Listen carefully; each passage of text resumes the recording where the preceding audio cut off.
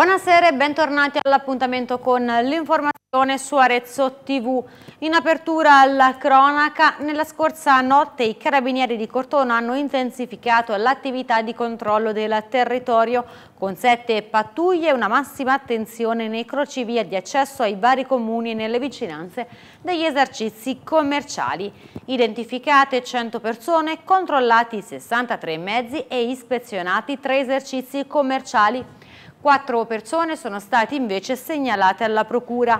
Un giovane trovato in possesso di alcuni cacciaviti di grosse dimensioni, un quarantenne trovato in possesso di due grammi di cocaina al quale è stata anche ritirata la patente. Infine un 24enne e un cinquantenne sono stati denunciati perché alla guida con un tasso alcolemico superiore al consentito.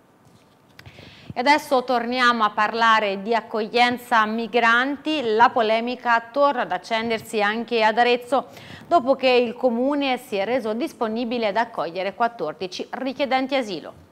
Ennesimo scontro in Toscana sul tema dell'accoglienza dei migranti. Questa volta è ad Arezzo ed è nato tutto da un'interrogazione, tra l'altro dalle fila della maggioranza ed esattamente della Lega in Consiglio Comunale. È stato il consigliere egiziano Andreani a sollevare la questione, la struttura che ospiterà 14 migranti si trova nel comune di Civitella in Val di Chiana ed è di proprietà della Fraternità dei Laici, azienda di servizi alla persona il cui CDA è nominato dal comune di Arezzo.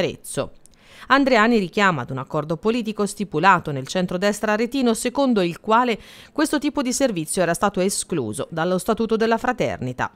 Mi risulta che la Fraternità dei Laici, in data 18 luglio corrente anno, quindi passato questo mese, ha inviato una manifestazione di interesse per l'affidamento di 14 migranti nelle sue strutture. Pertanto si chiede al sindaco e al vice sindaco chi ha dato l'input alla fraternita per partecipare al bando di gestione dei migranti, anche perché chiaramente da sé non penso che abbia potuto partire, visto che c'era stata la scorsa legislatura una decisione che era stata presa a maggioranza dei consiglieri.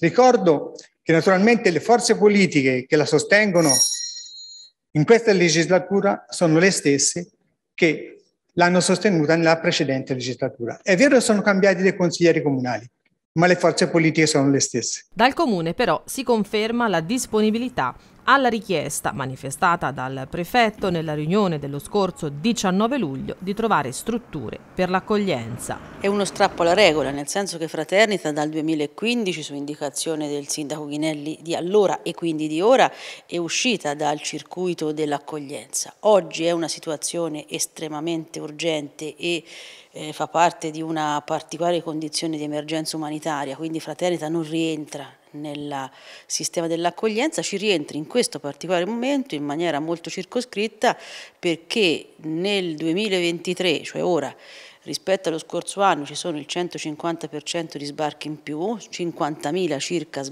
persone che sono, che sono sbarcate o stanno sbarcando nel nostro paese, 3.500 in Toscana, 350 nella provincia di Arezzo. Allora di fronte a eh, un prefetto che a sua volta ha ovviamente un input a livello nazionale che chiede un atto di responsabilità, quindi per noi una deroga rispetto a una regola, è chiaro che le istituzioni rispondono di sì. La posizione del consigliere egiziano Andreani è stata avvallata anche dai vertici comunali e provinciali del partito. Sul tema migranti non si esclude che il prefetto possa convocare nuovamente nella prossima settimana un'altra riunione. È ovviamente necessario, questo sì, avere una rete di volontariato, di solidarietà, di partecipazione civica che riempia le ore di persone che, lo ricordiamo, sono persone libere, quindi anche possono essere rinchiuse in delle stanze, in delle case, non fatti uscire, perché sono persone che probabilmente potrebbero anche avere un permesso allungato a causa di situazioni di guerra, di provenienza, cioè non è il migrante solo economico, ci sarà anche quello, ma ci saranno anche dei percorsi di protezione internazionale. Quindi la risposta è sono meno soldi? No, tecnicamente sono di più, perché stessa cifra, meno servizi. Certo, si apre una domanda, si apre una questione di come accompagnare queste presenze partendo dal presupposto, io questo lo condivido, che sono presenze finalizzate a un rimpatrio, quindi la differenza rispetto anche a qualche anno fa, che era un'accoglienza senza fine, questa è un'accoglienza finalizzata a patti internazionali per bloccare gli arrivi e rimpatrio per quelli che non hanno diritto a stare nel nostro paese o nel resto d'Europa. Parliamo adesso di economia, a scattare una fotografia è stata la Camera di Commercio di Arezzo e Siena in occasione della consegna dei premi Fedeltà al Lavoro e Sviluppo Economico 2023 dal premio ai temi più importanti che riguardano la nostra economia, dall'inflazione al tasso di occupazione. Sento Presidente, scendiamo un attimo sui temi dell'attualità, nell'agenda di governo ci sono tanti punti che sicuramente il mondo dell'economia attende, uno di questi è questo benedetto cuneo fiscale che dovrebbe essere ridotto e che dovrebbe consentire eh, ai dipendenti di avere più soldi in tasca. Come leggete questo ma anche altre manovre che il governo sta mettendo in campo? Beh, c'è un dato che è oggettivo, eh, ovviamente la nostra economia domestica che è tenuta in piedi dall'economia che ovviamente le famiglie e i cittadini riescano a mettere in atto con i propri acquisti, la propria eh, attività eh, rischia davvero di eh, subire un eh, colpo davvero ehm, purtroppo molto molto negativo. Eh, la capacità ovviamente con un'inflazione a questi livelli, i salari, gli spendi che non crescono a dovere, quindi la difficoltà davvero di essere al passo passo con quello che invece l'economia anche richiede, quindi oltre che ai bisogni di queste famiglie, per cui certamente dovrà essere fatta una scelta eh, drastica anche secondo me perché venga riconosciuto questo scollamento e, e ovviamente il, il, disequilibrio che si può creare che può davvero portare a una crisi importante del mondo economico e quindi della, ovviamente della tenuta economica dei nostri sistemi. Senta, ci sarà modo poi nel momento della giornata dell'economia o quando vorrete poi diffondere i dati su sull'occupazione di fare un focus più preciso, però questi sono i giorni in cui si discute molto sul reddito di cittadinanza, sul fatto che comunque questa misura abbia in un certo qual modo disincentivato l'accesso al lavoro. Ecco, voi avete un punto di osservatorio sicuramente privilegiato da questo punto di vista, ci sono ancora aziende, tante, poche, che non trovano manodopera?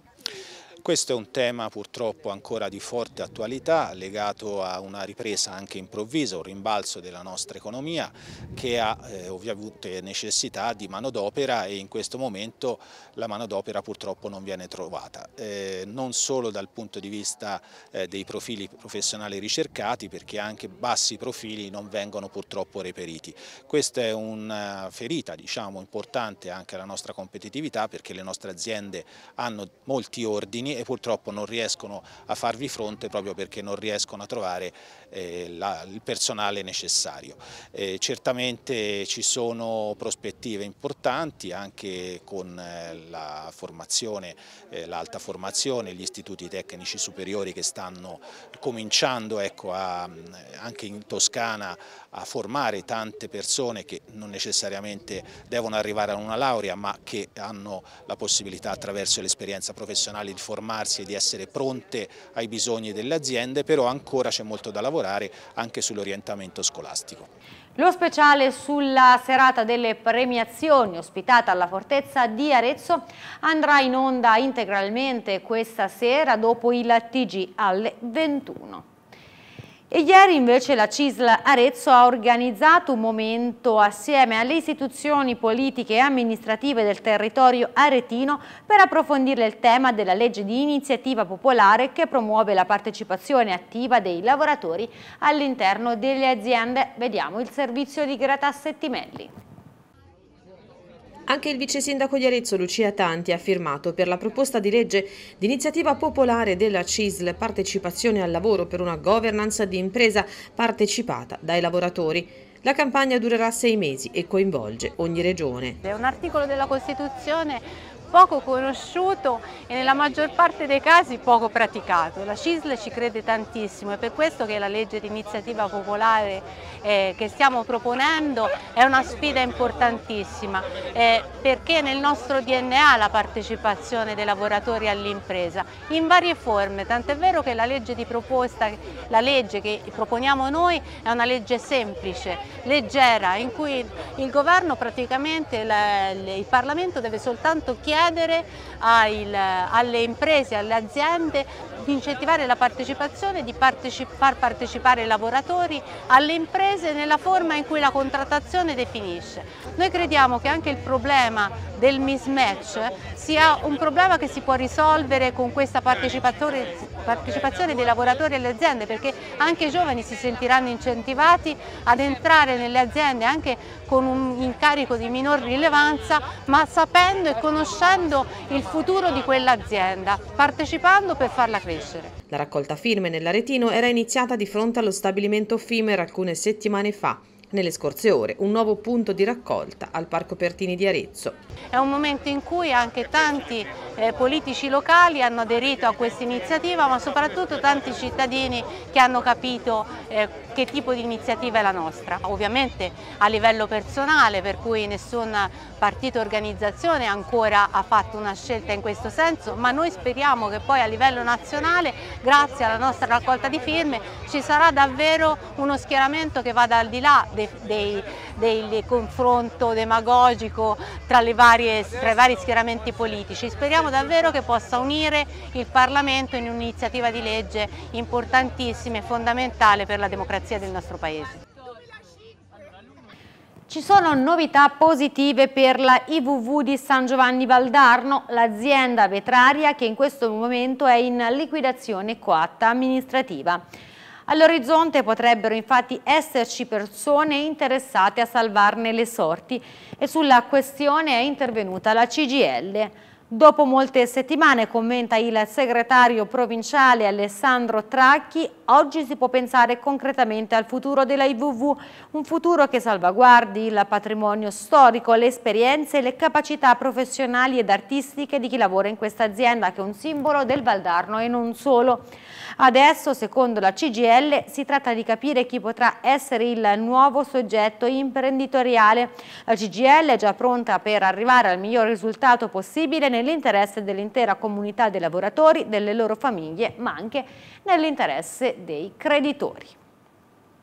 E adesso voltiamo pagina per parlare di sicurezza idraulica e ci spostiamo in Valtiberina, Pieve Santo Stefano, dove hanno preso avvio vari interventi programmati dal Consorzio di Bonifica 2 Alto Valdarno. Tagli e sfalci, ma non solo. La mitigazione del rischio idraulico passa infatti anche attraverso i ripristini di briglie, gabbioni e sponde vecchi danneggiati o caduti.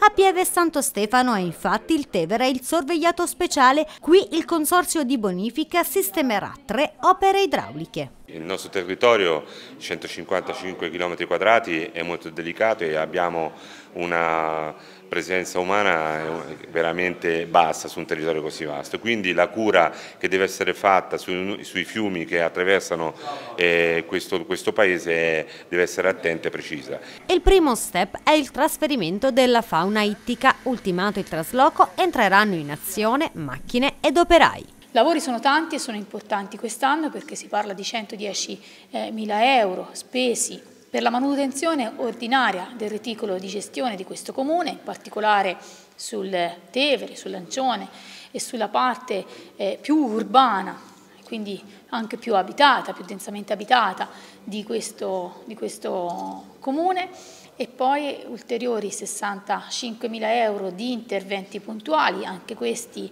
eh, che rispondono alle richieste del sindaco stesso, ma anche alle varie segnalazioni che ci sono pervenute dai cittadini di questo territorio che rimangono sempre per noi un alleato importante e ulteriori 60 mila euro per la sistemazione e il rifacimento di eh, alcune opere, in particolare una difesa di sponda in cui sono iniziati i lavori proprio stamattina, quindi una scogliera importante qui a, del, a monte del, del centro abitato e poi alla sistemazione di alcune briglie, anche queste per mantenerle in efficienza e garantire quanto più possibile la resilienza di questo territorio. Dalla giostra del Saracino di Arezzo al gioco del pozzo di Montevarchi, dalla rivocazione della battaglia di Campaldino al palio della balestra di San Sepolcro. Sono 15 le manifestazioni di rivocazione storica nei comuni della provincia di Arezzo che beneficeranno di risorse regionali. Riceveranno oltre 108 mila euro dal budget da mezzo milione messo a disposizione dall'edizione 2023 del bando regionale previsto dalla legge toscana 27-2021 per la valorizzazione del patrimonio storico-culturale e della cultura popolare. E sempre in tema di rievocazioni, ad Arezzo sino a domenica l'Arezzo Celtic Festival Terza e ultima giornata della nona edizione dell'evento è in programma appunto domani al Parco Pertini dove si rinnoverà l'appuntamento con la storia. Un'attenzione particolare verrà orientata verso l'aspetto rivocativo che troverà il proprio fulcro alle 11 con la ricostruzione di un matrimonio celtico e alle 17 con i tornei celtici dove sarà possibile sfidare i campioni del clan alle 21.30 la conclusione di questa edizione con uno spettacolo dal forte impatto. E adesso ci spostiamo a Cortona. A poco più di un mese dal taglio del nastro sono stati 6.000 biglietti staccati dal Mike per Signorelli 500, maestro Luca da Cortona, pittore di luce e poesia. A poco più di un mese dal taglio del nastro sono oltre 6.000 i biglietti staccati dal Mike per Signorelli 500, maestro Luca da Cortona, pittore di luce e poesia. La mostra celebrativa dei 500 anni dalla morte del grande artista sta riscuotendo un ottimo successo. I dati di accesso al MAIC rispetto allo stesso periodo dell'anno precedente sono triplicati. La strada delle grandi mostre era già stata tracciata anche precedentemente, dichiara l'assessore alla cultura del comune Francesco Attesti, ma Signorelli 500 sta dimostrando che è possibile anche per Cortona entrare nel novero dei grandi eventi museali nazionali. Fra le visite speciali c'è da evidenziare quella di giovedì scorso, quando il cardinale Gualtiero Bassetti è stato accolto dal sindaco Luciano Meoni. Bassetti, già presidente della Conferenza Episcopale Italiana e vescovo della diocesi aretina per oltre dieci anni, ha visitato la mostra accompagnata da Eleonora Sandrelli, curatrice degli itinerari Signorelli 500. Il risultato, prosegue ancora l'assessore Francesco Attesti, è frutto di una programmazione che è partita tre anni fa di contatti personali che hanno creduto nel progetto e hanno appoggiato l'iniziativa. Dalla MUMEC, il Museo dei Mezzi di Comunicazione di Arezzo, invece arriva un insolito appello. È infatti in programma il nuovo progetto Cellulart, il cellulare con 3R riduci, riusa e ricicla. La volontà del MUMEC è quella di creare un processo di cittadinanza attiva e consapevole sulla tematica ambientale. Da qui la richiesta di una raccolta di cellulari presso la sede espositiva. Si potrà fare fino al dicembre 2023. Il MUMEC invita quindi a consegnare i vecchi cellulari che a conclusione della raccolta saranno collocati in un cubo di plexiglass creando una stratificazione storica ed entrando così a far parte di un'installazione della collezione permanente in esposizione. Restiamo nel cuore del centro storico di Arezzo in Fortezza, ieri è stata la serata di Nada. Un piacere divino ascoltando il respiro mi prende alla gola, mi sento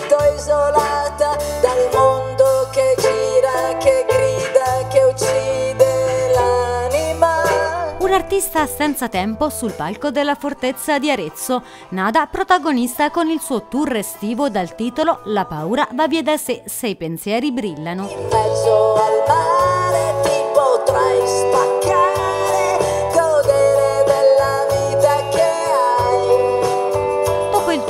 club e nei teatri, Nada ha portato il suo spettacolo in full band sui palchi dei più importanti festival estivi italiani. Uno spettacolo rock ma allo stesso tempo intimo e profondo. Con un vento che ti spingerà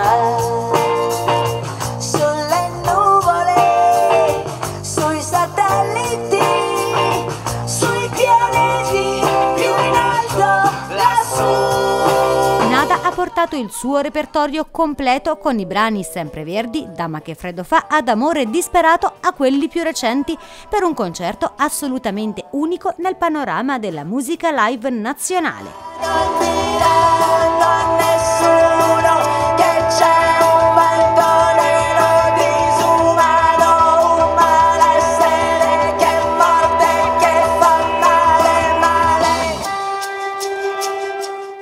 La nona edizione del Castiglioni Film Festival si avvicina al gran finale con un appuntamento davvero da non perdere con uno dei più grandi protagonisti del cinema italiano degli ultimi 50 anni. Domani a Castiglion Fiorentino arriverà infatti Michele Placido, ma intanto tra i momenti di questa edizione 2023 anche un omaggio al mondo del doppiaggio italiano.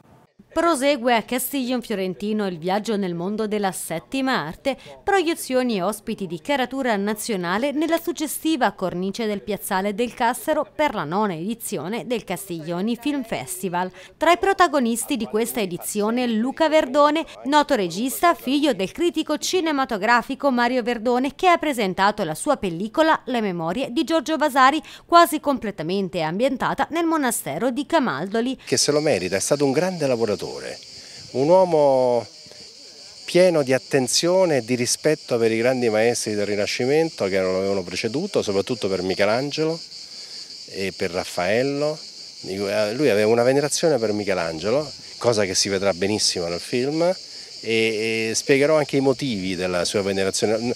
Non era una cosa così mh, mm, eh, assorbita superficialmente, è stata meditata e giustificata dalle sue opere, da tutto il suo operato. Spazio poi all'omaggio a Ferruccia Mendola, il nuovo doppiaggio in Italia, un incontro con cui il Castiglioni Film Festival ha alzato il sipario sui mestieri legati all'universo cinematografico, sul palco alcuni dei più grandi doppiatori del nostro tempo. Pigli, è tutto quello che tengo, pigli, è tutto. Non hai nient'altro? No, no, no. E quelli che hai nelle scarpe? Non c'è sta niente, te lo giuro, lo giuro sulla tomba di mia madre, guarda, niente. Abbiamo sempre voluto, eh, anche prima della mia direzione artistica, nelle edizioni precedenti, dare importanza ai mestieri che ci sono nel cinema, quindi a quei lavori, a, a quegli operatori che lavorano dietro le quinte. Eh, L'anno scorso c'era la, la, mostra delle telecamere d'epoca, eh, c'è stata la mostra degli abiti, dei costumi eh, del, del cinema e quest'anno invece perché non dare attenzione, non prestare attenzione alle voci